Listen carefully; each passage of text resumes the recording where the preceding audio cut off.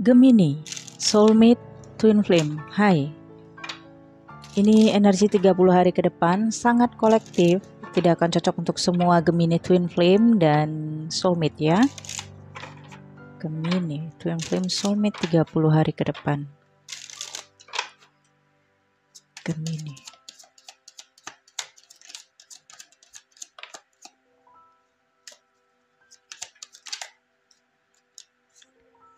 Kartu pertama The Emperor Gemini. Oke. Okay. Kemudian ada wow, The Empress berdampingan. The Hermit, Major Arcana ketiganya.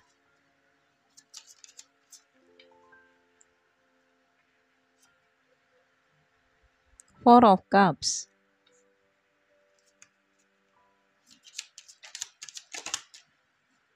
The Moon,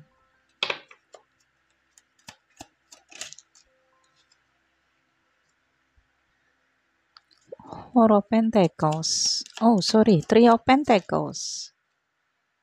Jasmine. Ace of Cups. Di bottom of the deck, Three of Cups. Oke, Gemini, ini situasi sepertinya masih berharap ya. Ace of Cups. Keduanya, maskulin, feminin sebenarnya masih berharap untuk bisa terkoneksi lagi namun situasi ini terparty relation, entah dia sudah memiliki pasangan atau kamunya di sini sudah memiliki pasangan ya. The Emperor dan The Empress ini berdampingan, artinya uh, saya rasakan jika ini memang energinya kamu, namun bisa terbolak-balik ya. Kamu ngerasa diabaikan, kamu ngerasa terbuang, diacuhkan, tidak diperdulikan, ngerasa benar-benar kayak dibalik tirai ya pada the moon. Oke. Okay. Saya lihat kamu sih oke, okay, nggak masalah. Sepertinya logiknya kamu menerima situasi ini. Hanya saja terkadang ada muncul rasa, ya, rasa berharap. Rasa ditinggalkan kuat banget di sini Gemini. Rasa diabaikan dan diacuhkan, tidak diperdulikan oleh seseorang. Twin flame atau soulmate kamu yang energinya the emperor.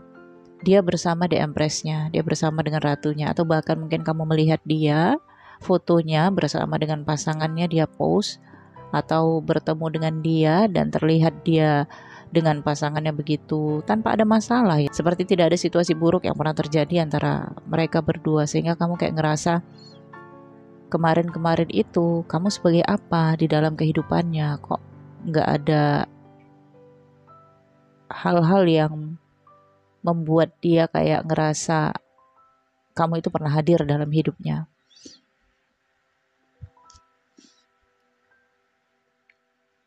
Oke. Okay. Hmm.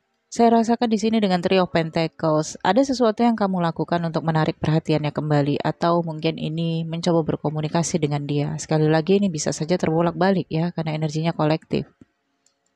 Trio Pentacles terlihat, jadi ada yang akan kamu sampaikan kepada dia, Twin Flame atau soulmate-nya kamu. Namun energi dia The Hermit ya, jadi dia memang kembali merenungi kesalahan-kesalahannya dan kelalaian-kelalaiannya. Saya rasakan dia di sini seperti menyadari kesalahannya pernah membuka kisah dengan kamu. Karena periode The Hermit ini adalah periode perenungan. Dia menarik diri untuk lebih ke arah spiritual, untuk menjalani kehidupannya dengan lurus-lurus aja. Kemudian tanpa masuk dalam situasi toksik lagi atau situasi karmik lagi. Oke, okay. ada hal-hal yang kamu lakukan. Mungkin kamu menyampaikan tentang apa yang kamu rasakan atau situasi kamu di sini kayak ngerasa nggak bisa nih kalau kamu diabaikan seperti ini. Kamu ingin mengetahui respon dia ketika kamu mempertanyakan kabarnya atau menyinggungnya tentang hubungan ini yang pernah terjadi antara kalian. Dan bisa saja ini situasinya kamu bertemu dia, dia dengan pasangannya dan kamu menyapanya dengan baik-baik aja. Sehingga dia di sini terkenang kembali atau mengingat kembali.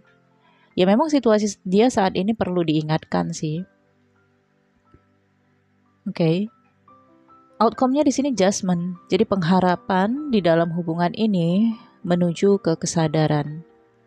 Melek nih ya antara kamu atau dia. Dia udah duluan melek di sini. Udah duluan tersadarkan dan kembali ke zonanya dia. Sementara kamu mungkin akan tersadarkan ketika kamu berkomunikasi, kemudian dia mengacukan kamu dan atau mengabaikan kamu sehingga di sini kamu tersadarkan bahwa memang dia sepertinya tidak berharap lagi untuk kamu hadir dalam kehidupannya untuk saat ini ya nggak tahu ke depan karena energi twin flame kan berubah seiring dengan energi kosmik dan judgment ini adalah pengakhiran jadi eh, kamu mau mengambil jalan untuk mengakhiri namun memang ada hal-hal yang perlu kamu komunikasikan kepadanya mungkin ini mempertanyakan bagaimana ke depan hubungan kalian berdua atau kamu ya ingin menyatakan aja oke okay, kalau memang kita berakhir ya semoga kamu baik-baik aja atau apa deh yang ingin kamu sampaikan. Ucapan salam perpisahan lah di sini. Kamu ngerasa butuh untuk menyampaikan itu. Entah maksud kamu ucapan perpisahan ini untuk membuat dia mengingat kembali atau memang ucapan ini kamu anggap sebagai salam perpisahan yang lebih sopan atau bagaimana. Segalanya memang kamu renungkan dulu dalam periode moon ini. Dan saya lihat memang e, kamunya juga menarik diri dari hubungan ini karena bisa saja kamu tidak inginkan hubungan yang toksik juga walaupun kamu melepaskannya tetapi belum ada kerelaan yang sepenuhnya. Kamu rela karena situasi kamu juga sudah di fasenya. Fase menarik diri dari koneksi ini. Oke. Okay. Kita lihat ke depannya Gemini.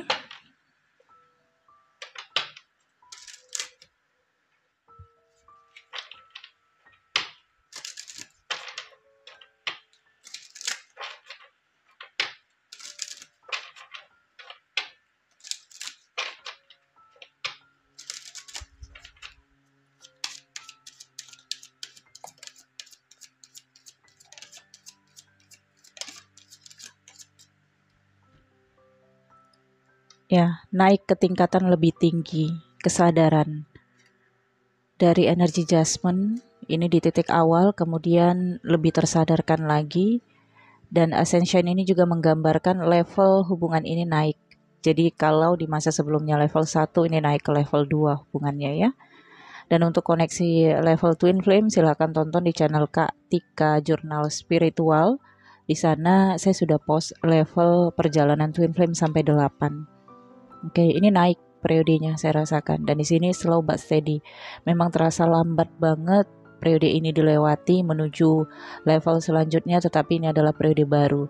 Honoring your energy, pulihkan energi kamu karena kamu baru saja keluar dari level sebelumnya twin flame connection akan ada jeda untuk situasi ini untuk kamu memulihkan energi, memulihkan kehidupan kamu, kestabilan kamu, pekerjaan, bisnis ataupun hal-hal yang perlu kamu tata di dalam kehidupan kamu.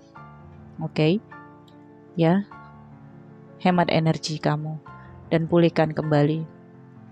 Ini adalah periode the moon ya. Ini adalah major arcana. Jadi ini adalah keinginan kamu. Dan begitu juga dia dengan energi The Hermit, ini adalah keinginannya pula untuk menarik diri dari situasi yang kayaknya kemarin itu jelimet banget ya. Membuat semuanya tidak stabil, membuat bisnis kacau, karir kacau, dan fokus kehidupan jadi tidak punya visi dan misi lagi. Sehingga di sini ya memang ini adalah periode kamu untuk memulihkan energi.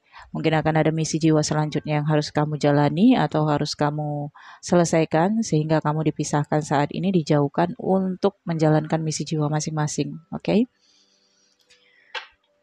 So, Gemini saya pikir cukup sampai di sini. Semoga bermanfaat. Nantikan video selanjutnya. Untuk mengakses video-video eksklusif dari channel ini, silakan join membership. Linknya ada di deskripsi video ini. Untuk personal reading berbayar, nomor WhatsApp saya ada di deskripsi video ini. Jangan lupa di like, comment, share ke teman-teman kamu, share ke media sosial kamu. Terima kasih, sampai jumpa.